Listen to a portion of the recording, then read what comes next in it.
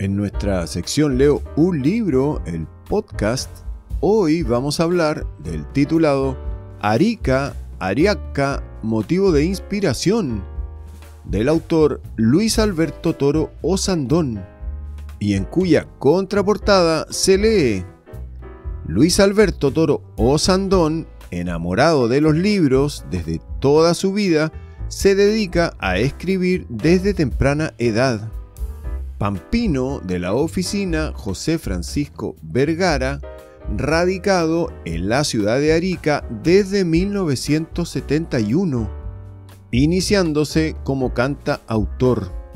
Desde el año 2008 participa en el grupo de escritores Rapsodas Fundacionales, ingresando el 21 de agosto del 2009 a la SECH filial Arica en 2010 participa en la creación de la comunidad de escritores y poetas de Arica Parinacota de la UTA.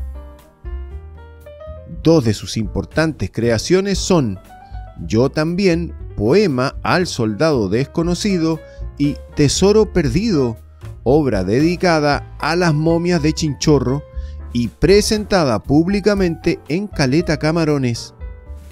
En 2011 participó en la antología Arica Parinacota Ruta de Leyendas, la recreación de los Caballeros del Altiplano. Este libro es la segunda edición en Arica, Chile, fechado en 2013, el cual en su interior comienza con, bajo el título de A mi ciudad, se puede leer Arica, hermosa ciudad, cuando llegué desde el desierto, me acogiste en tus brazos, siendo casi un niño. Cobijando mi infancia, diste motivo a mi vida. Hoy, agradecido, quiero compartir el sentir, resaltando la belleza y cariño que existe en ti. Como diría Neruda, mi querida mamadre tierra, porque después de la pampa existes tú. Así comienza indicando su autor Luis Alberto Toro Osandón. Página seguida, el mismo autor y bajo el título A mis amados padres indica Luis Alberto Toro y Laura Esther Osandón.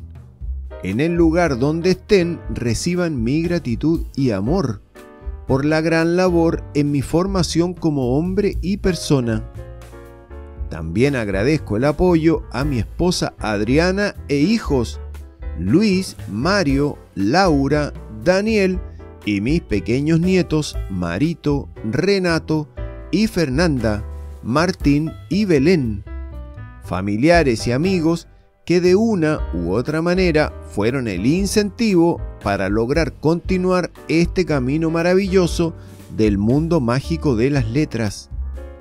Y luego, en el prólogo, bajo la autoría de Ana Lavé González, se lee Luis Alberto Toro Osandón, restándole horas a su oficio de fotógrafo y camarógrafo, ha plasmado su segundo libro Ariaca, sumándose a Tutelares del Espacio, obra predominantemente narrativa. Como el título lo explicita, Toro Sandón se inspira en nuestra ciudad para crear su obra, pero lo hace de una forma peculiar. Nos entrega un panorama amplio de ella, incorporando breves referencias históricas y poemas de su autoría vinculados a los diferentes aspectos que presenta. De este modo, complementa la presentación de carácter turístico con la creación poética, sencilla, espontánea, pero que le nace con la emoción del hombre sensible que vibra con una tierra que le ha brindado cobijo y le causa admiración.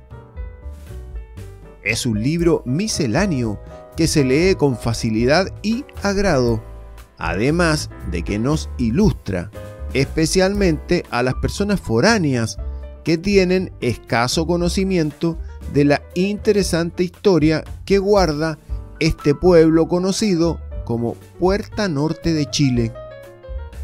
Consideramos, pues, que Luis Toro ha hecho un valioso aporte a la divulgación de la historia ariqueña en lo que atañe a su patrimonio tangible e intangible, porque ha considerado monumentos históricos, construcciones emblemáticas, lugares y acontecimientos de interés para la formación ciudadana. En este aspecto, el escritor está contribuyendo a poner en valor nuestro rico pasado, forjado por varias generaciones de hombres y mujeres ilustres. Así tan pronto nos habla del mercado central como de la Plaza Colón o de la Virgen de las Peñas y de las momias de Chinchorro. Su mirada amplia nos pasea con la cámara y el verso por sitios que conocemos, pero de los cuales tal vez ignorábamos detalles anecdóticos y amenos. De este modo, vamos aprendiendo a amar el espacio en el que vivimos. Luis Toro, como es sabido, participa en el club literario y social Rapsodas Fundacionales, cuyo postulado principal es propiciar la literatura regional y contribuir a potenciar su identidad. En este aspecto, el autor ha cumplido con sus dos libros, por lo cual merece todo nuestro reconocimiento. Esperamos que su trabajo sea bienvenido y cuente con el apoyo de los ciudadanos y lectores ariqueños indica en el prólogo Ana Lavé González. En nuestra sección Leo un libro, el podcast, hablamos de el titulado Arica, Ariaca, motivo de inspiración del autor Luis Alberto Toro Osandón.